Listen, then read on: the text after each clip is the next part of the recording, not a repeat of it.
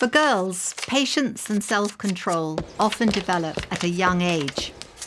As a result, girls tend to be praised for their achievements,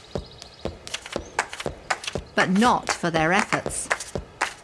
So when they're facing a new, difficult challenge, girls can be less likely to keep trying and more likely to think they just can't do it. What if all it takes to change the way girls respond to challenges is to change the way we respond to girls? Because sometimes all it takes to solve a problem is to realise what the real problem was.